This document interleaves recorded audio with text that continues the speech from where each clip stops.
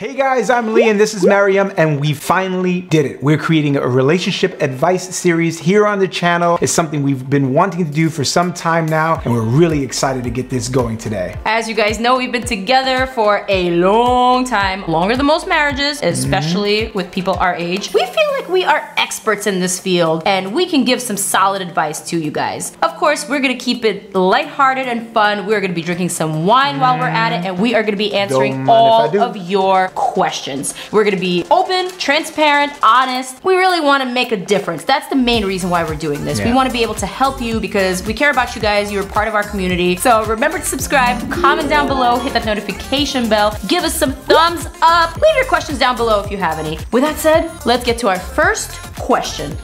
To the first question. Mwah. How do you start a relationship? Wow, that's a really, really great question. That's a tough question, um, man. I'm gonna answer this one. Go for it. So many people start off a relationship with the wrong with the wrong intention. For example, if you're a woman looking for the right guy, you may take your culture in mind. You may take that person's status in mind. Does he have, does he make money? What kind of car he drives? His status, how other people perceive him. Those are not what I call universal truths uh, to establishing a good core base for your relationship to build upon. What are the universal truths for you and truths that are established throughout time, timeless truths? Is this person a good person? Is this person's intent good? How they treat their family, how they treat themselves. Those are to me qualities that really help shape the relationship and you can build love upon. But if the person is egotistical, super narcissistic, self-centered, just a generally not a good person, you could pretty much, you, you don't have time to fix people all the time. What you're saying is you shouldn't shape a person into these qualities that you like. They should already right. kind of be that person. The core values. Right. What are some universally accepted good traits that you want your mate to have? If I may add to that. Certainly. I think in order to make yourself a little bit more susceptible to finding the real real thing. You have to love yourself first and also yeah. love your environment, love your neighbor. And I think if you go into it with kindness and if you just make yourself a little bit more open and available, then the right person will find you and they will see those good qualities in you. Right. And those good qualities will in turn attract the good qualities in the mate that you're looking for. Next question is, what do you find annoying about each other? And uh, also, how do you deal with it? Can I go first? Yeah, sure. Please, please. A lot of people think that me and Lee have this perfect relationship and no, we do not. We have a great relationship, but it's not perfect because no one's perfect. And yes, both of us have qualities that each other finds annoying. In my case, I think that Lee can just be a little bit too much just about everything that he does. He's a very intense person. I can be. You know, this is a good quality and a bad quality both at the same time. He basically puts all of himself into everything that he does, which makes him just really intense and sometimes tough to be around. He's a perfectionist. So am I, but Lee is like, he's an ex-ballet dancer. So trust me, he is a perfectionist. So sometimes I just wish he would like take it from a 10 and like lower it to like a six, 6.5. That would be great. I get over it because I know that ultimately you're a good person. I know you're very intense and you're very perfectionistic and all that stuff, but overall, you're a great guy and you're a good person. And so this little Likewise. nuisance I get it. It's just a nuisance. That's what it is. You get over it by what is the universal truth in our relationship. And in this case, it's the fact that we really know each other really well. If I'm being too much or she's being, in my case, I think she's really stubborn. A. Exactly. So, and I also think you're very indecisive. I'm so, a Libra. So all Libras are indecisive. For me, that drives me crazy. So the worst thing I could do is put more options in front of her. I have to learn how to work with her. Mm. And so I think that's how you overcome it. So I think the advice I would give to you out there would be know your partner, know what their strengths and perceived weaknesses are, and kind of work around it. Don't shove it in their face, you know, and gently work through it together. You're stubborn too, though. Not really. You are super stubborn. I'm stubborn with the truth. well said. I think a lot of people can relate to this next question. How do you deal with jealousy and your partner looking at other people? So that's like two questions wow, in one. one. I think we should tackle the first Which question one? first. Which is how is? do you deal with jealousy? I'm not a particularly jealous person. No, you're not. And I think that comes from just like, not, and not just in a confidence in myself, but I have a lot of confidence in our relationship. So I don't really have that issue. but you're a little bit different from me. This is how I would handle jealousy. If Maryam were to come up to me in a fit of rage or jealousy, um, I would actually be quiet. I would really make sure I'm listening to everything she's telling me. I wouldn't judge her. I would try to get as much information as I can and not take it personal. When someone's jealous and they come and they approach you, they have a backstory already. They've already seen you In their head. Right, and it's all in their head. You know, they've already seen you sleep with that person, kiss that person, hang out with that person, several text messages with that person. They've built this whole narrative already. And so if you try to challenge their jealousy, all you're doing is creating conflict. There was like one or two times Maryam has been jealous, and I listen. And then I assure her, I let her know that, look, that's not what's happening. That's not what's going on. And you may be a little jealous, and that's okay. And most of the time they'll deny it. So if that doesn't work, just be like, hey, look, I'm sorry you feel that way, but that's not what happens. I, you know, I'm, I love you. Kind of weird because we really don't experience jealousy like that. Although I did experience it recently a little bit with Snoop Dogg with the picture you put up on Instagram. You It were was- jealous of that picture? It was so minute. It was so Guys. little. We could post a picture here. His hand is draping over her. You could see how that could make me a little uncomfortable, right? There were a couple comments on that photo that were like, hey, how did Lee feel about this? You know, looking at other people or taking a picture with a celebrity, which may be a little risque or whatnot, can trigger some jealousy. I understand. But what is your partner's intent? Is your Yeah. partner's intent to just take a picture with the celebrity because they truly just admire the celebrity? Right. Is your partner's intent to look at this good looking bartender or waitress because they just simply find them good looking? If that's it, then it's human nature. But if your partner's intent is to actually do something with this Well, that's a celebrity, different problem or altogether. exactly, then You have a problem. you've got a problem, and Yeah. then you might be in a toxic situation. Right. That's So not in your head. That's a real problem. Really, you need to find out what is your partner's intent. Correct. He mm-hmm. knows that my intent with Snoop Yeah, Dogg course. was to take a prom pic with him. That's what they all I say. am not attracted to him by Yeah, any sure. means. He's like my are. mother's Yeah, age. I mean, You like him old. like you. All right. Wine is kicking in. Uh, next question is being that we've been together for as many years as we've been together, how do we keep it fresh? How do we one. keep it spicy? Well, we have been together for a very long time 17 plus years, almost 18. So I understand how this question can come about. It's actually kind of a touchy one because so many people don't even realize maybe they're with their partner because it's been such a long time and it's much more convenient to actually stay with them than to break apart. But they're not really questioning themselves how can they actually make it better so that they want to continue this journey together. So for me, that's not the case at all. This is the guy that I chose. This is the guy the guy that I want to be with and how do we keep it spicy? It's simple. We see the human being in each other every single day. Not the superficial stuff, how much money each other makes or, you know, what kind of car we drive, but actually what kind of person is Lee? What kind of person am I? And that's what keeps me attracted to Lee, you know, knowing that he's a good person, knowing that he could potentially be a good father to my children. Wow. In the on. future. okay. Thank you. Sexy, right? Yeah. Uh, and also,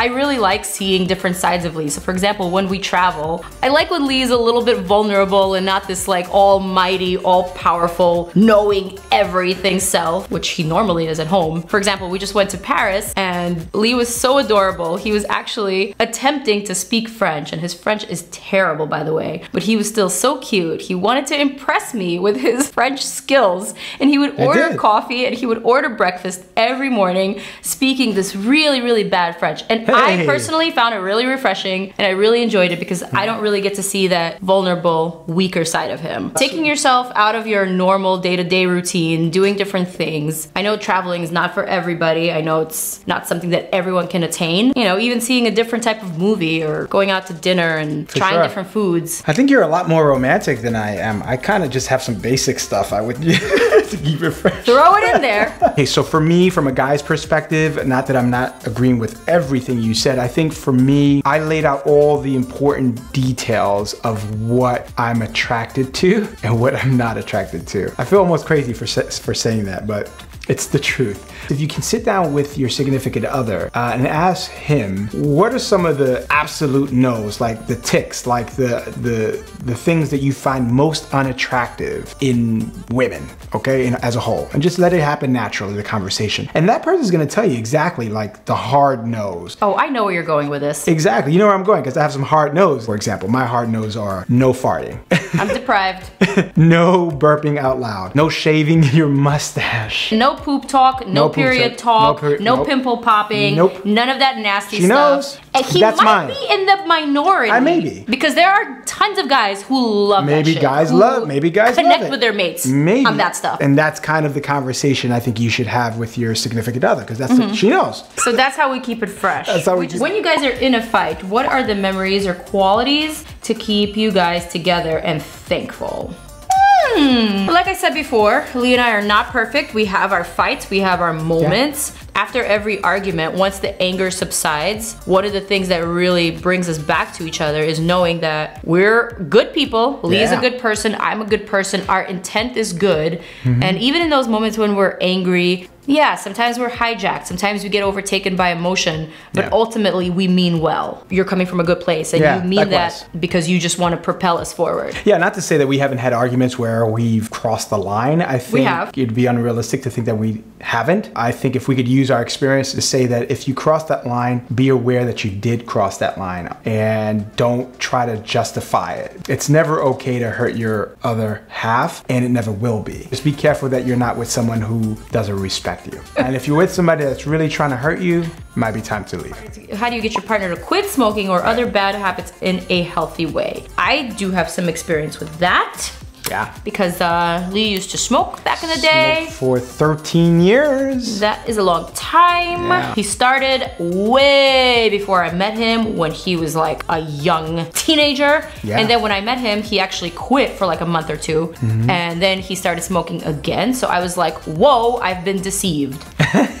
In my youth, I was a teenager at the time. I was just so upset and so disgusted. So I would constantly pester him. Every time he would light up a cigarette, I would just yell at him and I would be so annoying. I would just like tell him how ugly his lips look when he's smoking and how he's getting spots. And I would just like start trashing him. And that honestly wasn't the right way to go about it. Nope. It only made him angrier and it only made him want to continue smoking just to spite me because I was annoying him. In my experience, I would say that you kind of have to be a human being. You really have to listen to your partner. You have to acknowledge that this is what they're going through and you have to be really delicate and very diplomatic. You have to pick a time to talk to them about this issue. Basically, when they're not smoking, you should try to approach them, ask them like, "Hey, do you think this is good for your health and do you think this is good for our well-being?" I think it's a really great time for you to practice empathy, understanding. Wait to after they finish smoking, perhaps, when there's a conversation that could be had at a later time where you guys both say, hey, how can we together work on this issue? Because I think we both can agree that cigarette smoking is not good for you. Are you okay? Do you think you can stop? How can I help? Also, you have to tell your partner that the reason why you're saying this is because obviously you love them You and love you care them, for them care. and you care for their well being and you want them to be healthy and good. I think you have to come from a very caring place as opposed to just selfish, annoyed place, if that makes sense. The next question is How do you handle finance between y'all? And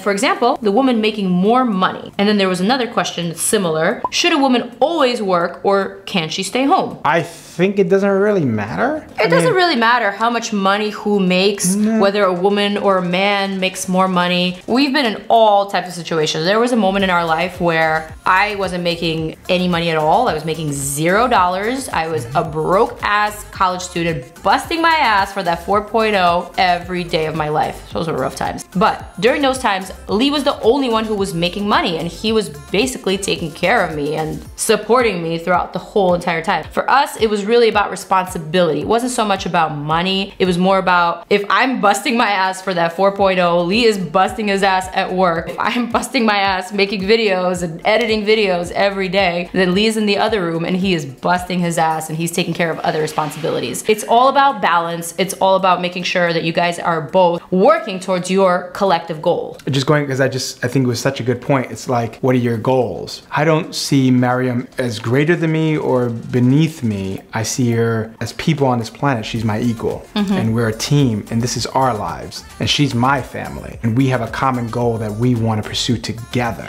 Do you ever go to bed angry? Oh, okay. In my opinion, one should never go to bed angry. I'm not gonna say that Lee and I didn't have a whole year where we were arguing a lot and we would go to bed angry almost every single night. Looking back at it, the advice that I would give myself is that the morning is smarter than the night. It's actually an old Russian proverb. Утро вечера мудренее. Basically, you make better decisions in the morning. You should never try to resolve an issue at night. You should just squash it to the best of your Yeah. ability, go to bed, sleep, wake up, and then tackle it. Yeah, I'm just gonna add on to that for the American viewers. just kidding. You don't like my Russian No, I'm proverb? just kidding. The advice I would give you is that relationships have storms, but on top of the storm is always the sun. And it's always shining bright if you're in a great relationship. What do you do when someone texts or calls you all the time when you go out? Turn off your phone. Is it cute or is it toxic? Turn off your phone. Shit. This is one of my pet peeves. Now you turn off the phone, it'll kill you. Honestly, like when Lee calls me for anything, if I am not at home, I just get super short with him. I get so angry and annoyed. I pick up the phone and I'm like, what? What? Like I get so frustrated. He doesn't do this as often as he used to, like in the beginning of our relationship, but hmm. this is something that I don't consider particularly healthy. And this all boils down to trust. If they know exactly where you're going, there shouldn't be a reason for them to pester you, to bug you with these texts and phone calls. I don't think it's cute. I don't think it's nice. I think it's actually provocative. It's provoking you and it should be stopped immediately. So you should have a talk with your partner about that. Again, we're going back to intent. Find out what your partner's Yeah, intent is. Yeah, what the is. intent is. I think it's really good, great point. Actually, I think that's absolutely right. I want to give an example. You have to find what the intent is, right? Behind the texting and the calling. When you get in front of your partner, have a conversation about it. Try to ask, why are you calling me so much? Why are you texting me? But don't get mad. Go into it with curiosity and empathy and try to understand. The problem is, is that super generalizing here, most guys will defend their insecurity by putting the macho in front. He's trying to make it seem like he's concerned when in reality he's jealous. So it's a bit of a complicated situation, but you want to kind of get on top of that sooner than later because as the years go on, that's that narrative builds up. Yeah, you gotta nip that in the bud. The next question is would you have an open relationship? Or would, Would you ever Right. invite a third person into the bedroom? Uh, no. Absolutely. No. just kidding. No. Nah, that's just not who we are. Yeah, we know people who are in open relationships, but And it works for them. Yeah, that's just not who we are, and it's Yeah. just not something that we can advise you on because we've never been those people. and I'm not judging. Listen, it works for some people. I just don't see myself in that situation ever. I'm too much of a one man kind of woman. I just can't see myself as that person. It's just not something I could ever see myself doing with you. I think it would just really change the dynamic of our relationship, and I would never want to jeopardize our relationship. I would never want to put it through something that it possibly can't handle. I'm physically disabled and have had a hard time dating and need some confidence advice. Really good question. Well, I think confidence advice is actually my area of expertise. I'm gonna tackle this question. Go for it. Just because Yeah, I'm I feel like I can. I understand what you're saying. I hear you, but let me put it to you this way. No matter what you are, no matter how universe made you, you are the only one you in this universe, and that makes you so special and so beautiful. Listen, I have plenty of things that are quirky, that are weird, that some people might find weird or off. I don't look at them that way. I look at it as my special little something. It makes me unique and beautiful to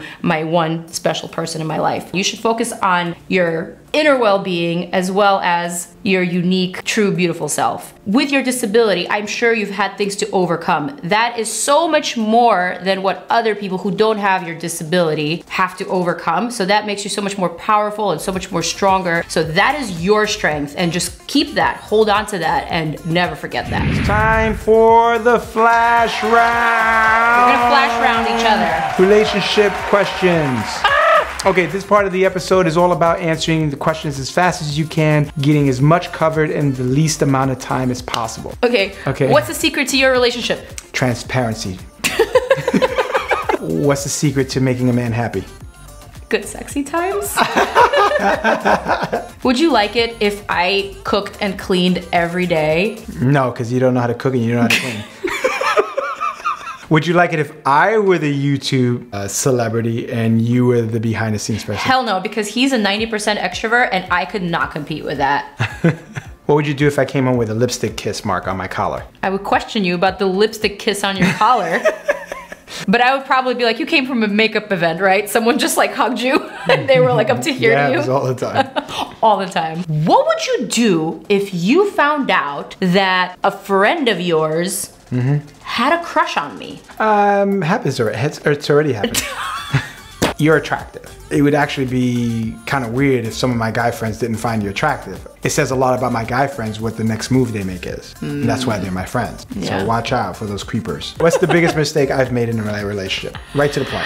I think sometimes you don't put yourself in my shoes. Wow, I disagree. Sometimes you come from a male perspective. You don't understand I'm what the male. woman goes through. I think a lot of women expect the man to be so well in their shoes. We can't. We're men. I think I follow you in the makeup industry. It was an industry I didn't want to be in. I didn't know anything about. I'm completely open-minded. I support you. I try to be empathetic by doing things for you for your career and you do for mine. So that is my way of being empathetic. So right now you said something that I completely disagree with. So I, first thing I got was I felt, wow, I can't believe she just said that. I caught that feeling and I said, well, am I going to run with that and defend it or I'm going to let her know how I feel without getting mad? And that's exactly what I did. This is a winded answer to a flash round question. Yeah, yeah, but it was an important one because there was something that happened there in a relationship right in real time, and we worked through it, and that's how you do it. So, my turn. And you seal it with a kiss. Why aren't you affectionate? I think that's for another series episode. Dun dun dun! the difference between a male and a female's expression of, of emotion and affection, episode two. That's do a you, good What do you think? Comment down below and let me know what you think of that idea. That's a good one. There's a series of- huh? I need a drink. We have nothing. Uh, Sorry. You hit your hand? Yes. I'm Maryam and this is Lee, and we finally. I'm Maryam and this is Lee. What was the question? I'm sorry, I just had a moment. Thank you guys so much for watching, for tuning in. Please leave us any more questions down, Down below. below. Let us know what you think should be the name of our relationship advice series. Hmm. We were thinking maybe ask Marlee, because Maryam and Lee together we are Marlee M A. R L E E. Let me know if you think that's a good idea. Check out some of our other videos Right right, here. Click on them. You know the drill. And we will see you guys in the next one. Mwah! Mwah, guys. Bye, Love you guys. guys. Thanks for watching. Sending love and hugs. And happy relationships. More love to you. Bye, guys. Bye.